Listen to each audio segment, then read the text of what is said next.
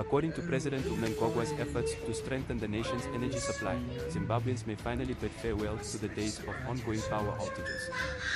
Energy independence has been a major problem for Zimbabwe due to the country's increasing industrialization. But investments in power plants like Hwange Unit 7 and 8 and hydroelectricity projects have helped the country achieve this. With utilization rates exceeding 70% and record wheat yields boosting food security and exports. The advantages of this gain in electricity generation can be observed throughout industries. In addition, the mining business is expanding and is on its way to surpassing $2.8 billion in revenue to reach $12 billion. The government's attempts to invest in long-term solutions, like the Batoka Gorge hydropower facility, show President Mnangagwa's aim for Zimbabwe to become energy self-sufficient.